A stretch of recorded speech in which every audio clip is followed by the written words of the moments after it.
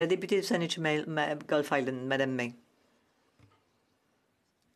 L'histoire montre que parfois des chefs d'État se servent, exploitent une crise pour faire des choses qui autrement leur attiraient l'opprobre public. Par exemple, durant la pandémie, on a vu le Brésil être brutal à l'encontre des peuples autochtones de Je pense que la République populaire de Chine fait la même chose.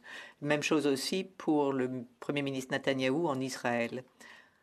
On a une répression à Hong Kong qui va à l'encontre de l'engagement d'avoir un pays, deux systèmes. Que va faire le Canada pour aider les citoyens de Hong Kong et euh, qui puissent venir au Canada? L'honorable ministre, je remercie ma collègue pour sa question. Le système un pays, deux systèmes est très important à Hong Kong.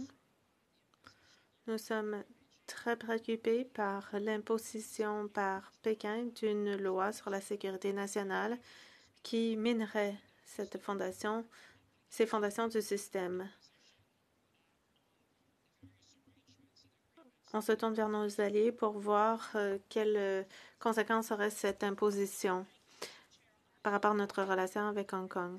Madame May, j'espère que le gouvernement nous dira dans les prochains jours ce qu'il compte faire pour les citoyens canadiens qui se trouvent à Hong Kong. Hier, le premier ministre a été clair pour la première fois